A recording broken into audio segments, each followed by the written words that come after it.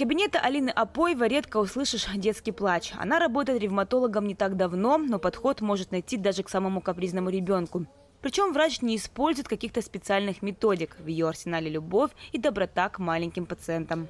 Дети – это самый такой радостный и лучезарный момент в работе, потому что они всегда активные, веселые, э, и ты получаешь такую энергию от них, э, от разговора с ними, а в особенности, когда твое лечение ну, принесло пользу и э, пошло на благо ребенку. Вот, то есть, когда родители рады и дети рады, это всегда очень заряжает такой энергией.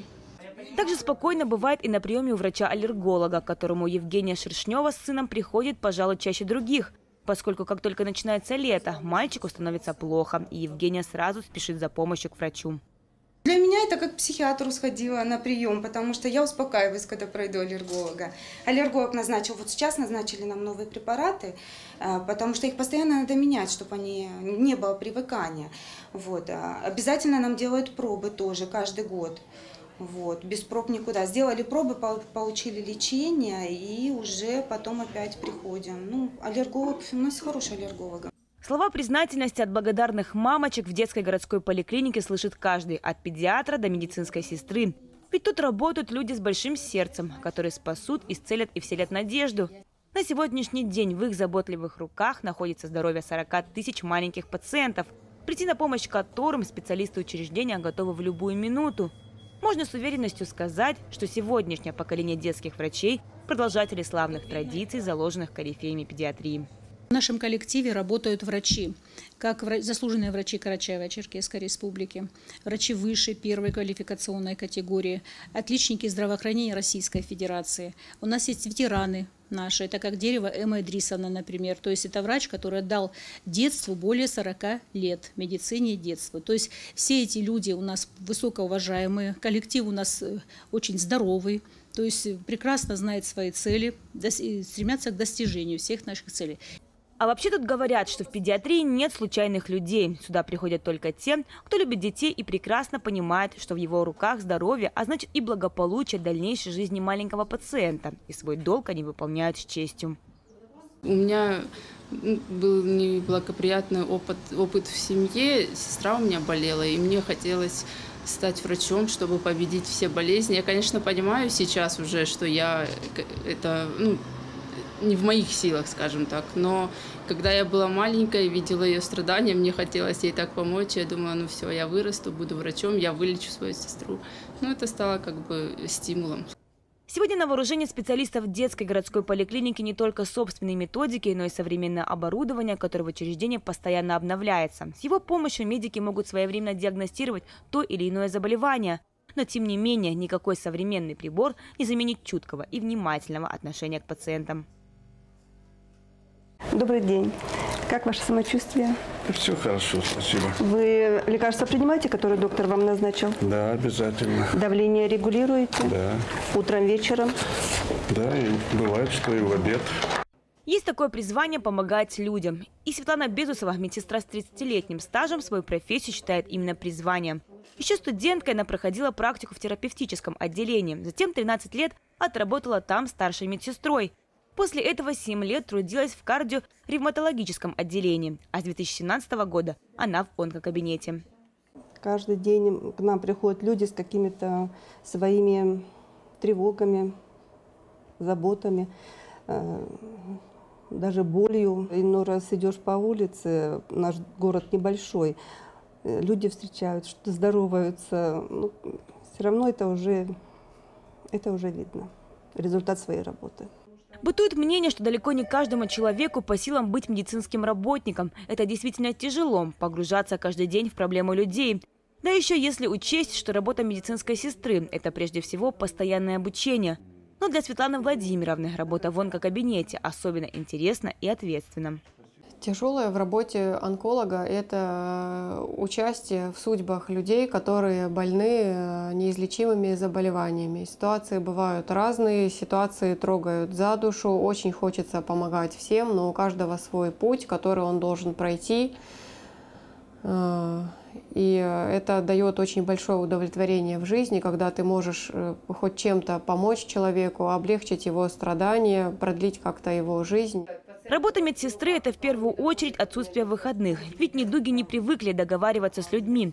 Как призналась Светлана, с просьбой дать совет и поставить на ноги к ней постоянно обращаются родственники, друзья и просто знакомые. А пройти мимо человека, попавшего в беду, ей не позволит доброе, отзывчивое сердце. Это очень сложно. С нами, со всякими характерами, с разными характерами, очень трудно и медсестрам, и врачам. Лидия Аджиева с одной стороны пациентка онкокабинета, с другой мама врача. Поэтому ситуацию видит сразу с двух сторон. Ее дочь трудится в ковид-госпитале и часто делится с родственниками своими эмоциями. Говорила однажды, что вот одна женщина, я говорю, просто у меня душа болит, сердце плачет, потому что эта женщина, ну, от, от ковида вся отекшая. Мы не, не знаю, я не представляю, я так хочу ее спасти. Неспроста медицинских сестер называют ангелами в белых халатах. Ведь кто еще, забыв про собственные нужды, страхи и потребности, будет стоять на страже вашего здоровья? Ведь медики – последняя линия обороны от недугов, с которыми другие бороться бессильны. Именно поэтому для них учредили профессиональный праздник, который отмечается ежегодно в третье воскресенье июня. Спасибо нашим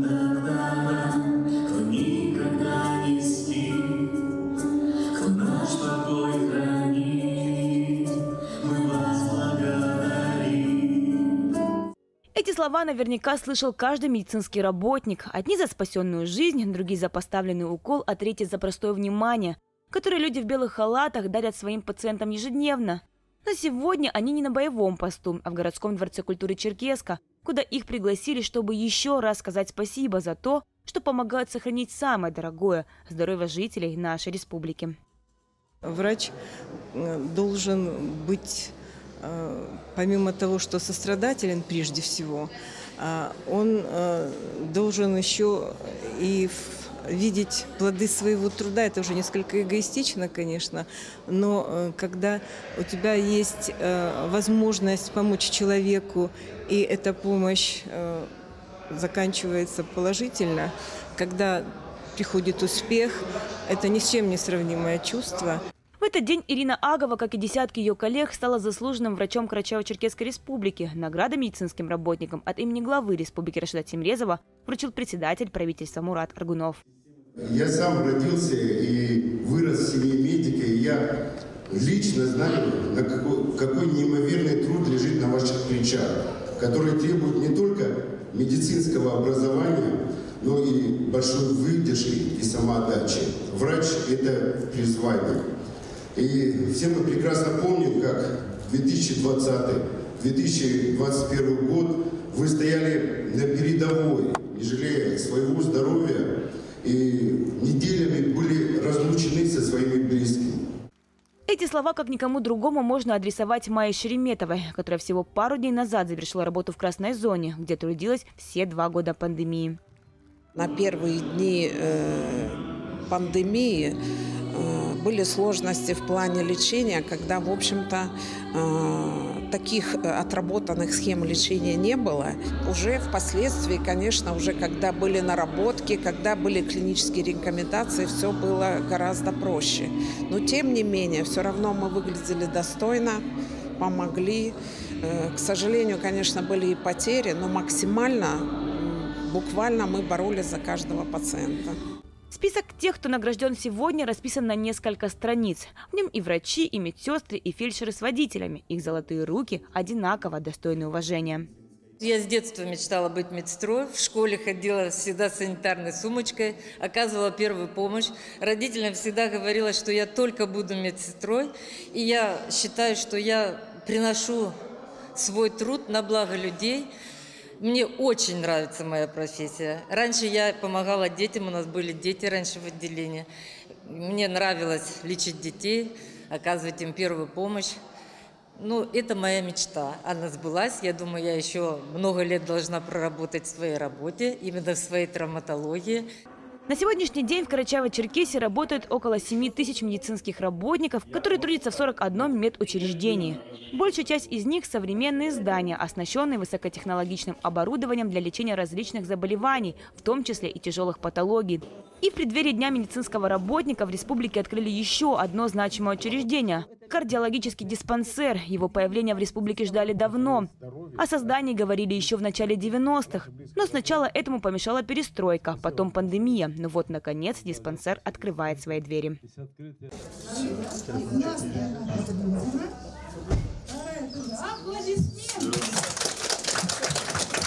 Так компактно, удобно для жителей республики. Это расположено как раз там, где это будет э, удобно для всех, и для жителей, и для врачей. Мы рационально используем кадровый потенциал и имеющиеся диагностические возможности республиканской больницы.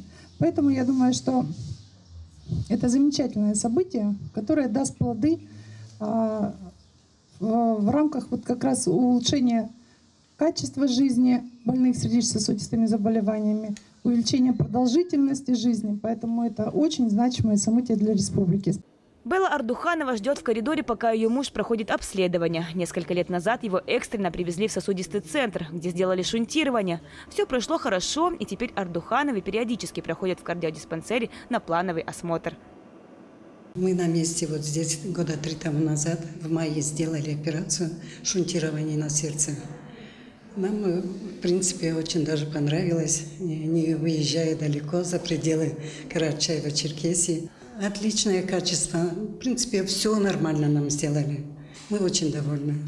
Таких сложных операций в региональном сосудистом центре делают сотни, и каждому пациенту после хирургического вмешательства требуется реабилитация и дополнительное наблюдение. Именно это они смогут получить в новом кардиодиспансере. Для этих целей он и создан. Функция диспансера заключается в том, чтобы этих больных выявлять, э, составлять по ним э, группы определенные, наблюдать их, коррегировать их лечение, э, их диагностику своевременную. И в результате за счет своевременного получения определенной медицинской помощи разных видов целью основной этого наблюдения будет являться снижение смертности от болезни системы кровообращения. Постепенно диспансер будет внедрять в клиническую практику самые современные методы обследования, но уже сейчас на его базе можно пройти УЗИ сердца и сосудов, мониторирование ЭКГ и артериального давления, программацию и коррекцию имплантированных электрокардиостимуляторов, что станет большим подспорьем как для регионального сосудистого центра, так и для районных медучреждений. Сейчас практически все пациенты, которые будут поступать в центр, э, они будут э, направляться именно докторами кардиодиспансера. Они уже будут э, отлично обследованы. Они, э, если это будут э, пациенты на операцию, то они будут подготовлены э, и морально, в принципе, подготовлены на эту операцию. И, соответственно, когда будет выполнена операция, какое-то высокотехнологичное вмешательство, дальше эти пациенты уже будут курироваться и э, врачами районов, и в связке, конечно, с врачами кардиодиспансеров. Это как бы надстройка получается над э, тем фундаментом, Э, районных больниц, поликлиник, именно по кардио кардиологической службе. Кроме того, на базе диспансера будет создан Центр управления сердечно-сосудистыми рисками. Он координирует оказание медицинской помощи, в том числе высокотехнологичной, тем, чье сердце работает не лучшим образом.